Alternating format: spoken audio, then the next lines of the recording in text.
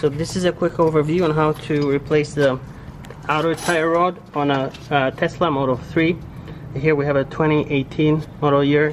Here's the tie rod.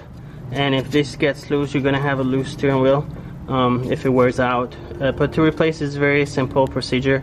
Uh, you will need an alignment afterwards but to replace the part it's easy. So what you would want to do is you mark this nut here first because you want to bring uh, the new one to as close as you can to this old one. Otherwise if you leave it push it too far thread it too far in or you leave it too far out alignment will be way off uh, while you drive to the alignment shop. But you mark that and you just loosen this half a turn.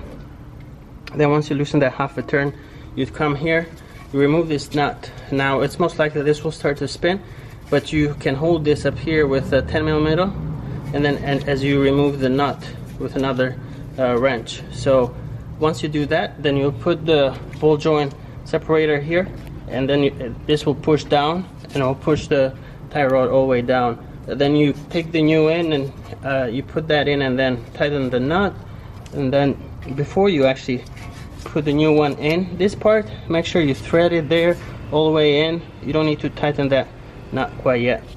Put it in here tighten this nut and then you come in here and tighten that if you're too far out you can use a wrench right back here to rotate this uh, part this shaft and that, they'll get that close and adjust it then you tighten that nut make sure both nuts are tight when you're all done and make sure to get that alignment even if your wheels uh, steering wheel doesn't pull or uh, you still want to get an alignment just to make sure so you don't have an uneven tire wear. Thank you for watching and for more help make sure to follow our step-by-step -step guide. Thank you